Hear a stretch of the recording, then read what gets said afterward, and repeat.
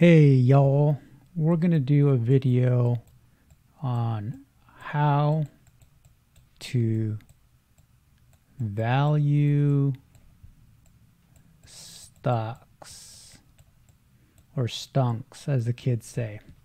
And I'm just going to wing it and I'm going to do the whiteboard method just to make it interesting. I'm going to have some websites as well, but I always like to start with how do you value the S&P because if you learn from the S&P it makes it a lot easier. So Shiller PE starting with the S&P 500 PE there are times when the S&P is expensive and there are times when the S&P is cheap and the S&P is a basket of stocks. It's also representative representative of the economy.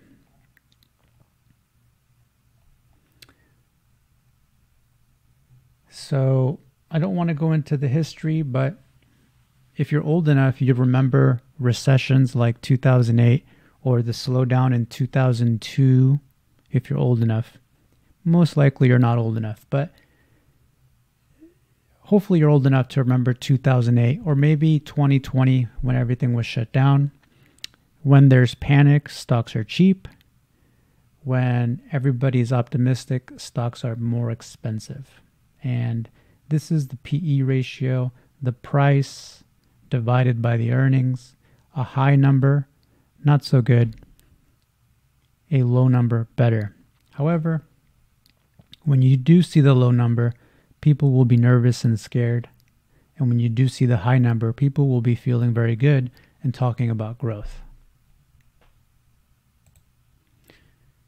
This next slide here is the S&P earnings. Close the ad. And it's quite similar to the S&P chart.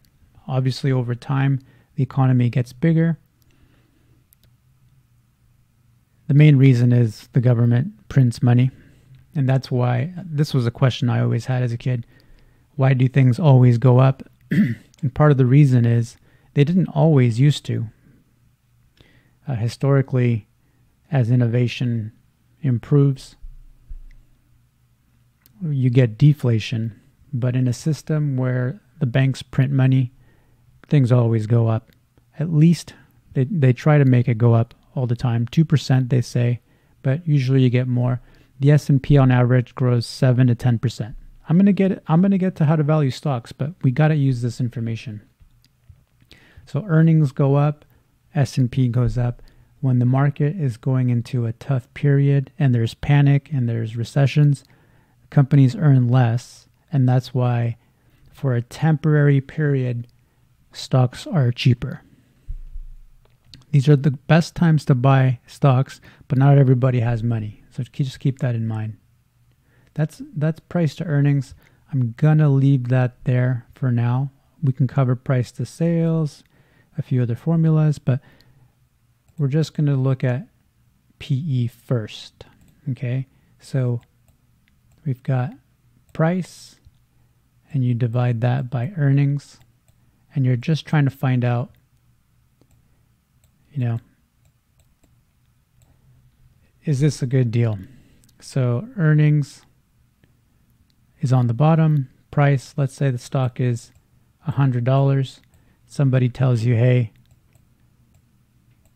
it's 15.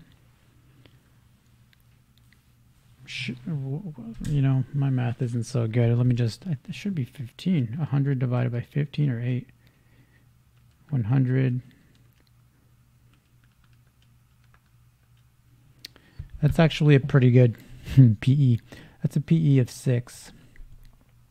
So this would be a very attractive deal because historically, if we go back to PE, let's see, my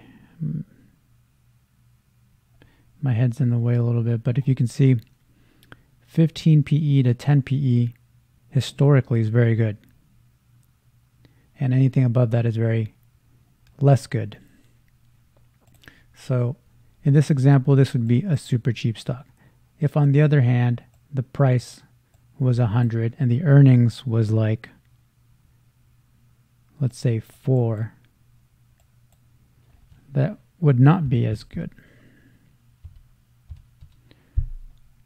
But actually that's a lot of stocks right now are, are like that.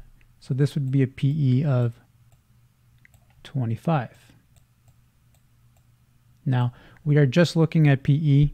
We are ignoring all the other information, which is quite useful. But I used to just look at these PEs and I, I would think that's enough. But that actually isn't enough. Because what, what you'll, you'll learn later on is that when the PE is 6, although it looks cheap, it, it might be cheap for a reason. So they could have debt, they could have balance sheet issues. The business could be not as good, could be international risk. I'm not going to go into that. Not in this video. And then alternatively, a 25 PE may not be bad. The other component that's not shown is growth. So if a company is not growing at all, 25 is expensive.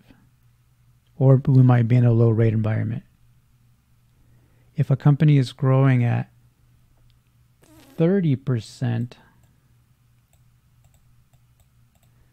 this 25 is actually cheap.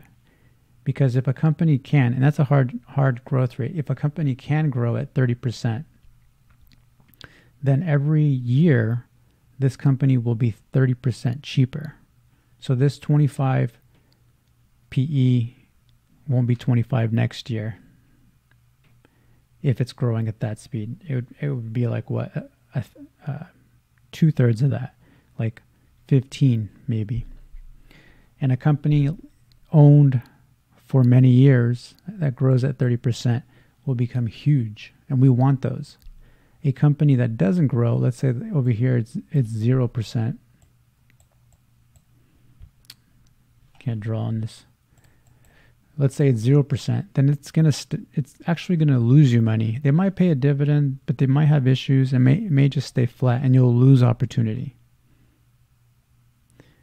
So, PE alone doesn't tell the whole story. Just like PE alone and the S&P doesn't tell the whole story. But that's the number one, the first thing most investors look at when they're valuing stocks. That's PE. I think I'll just leave it there and I'll make another video on price to sales. But that's just PE, a quick overview. Growth is super important and you find out by, by reading some analyst reports or getting some, some more digging deeper.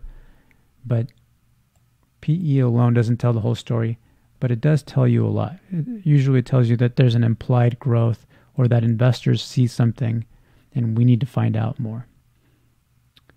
On the next video, I'll cover price to sales and I'll show how a small company over time becomes a bigger one and how maybe they don't have earnings, but um, they'll have a price to sales ratio and then some expected growth rate. We'll see. See you on the next one.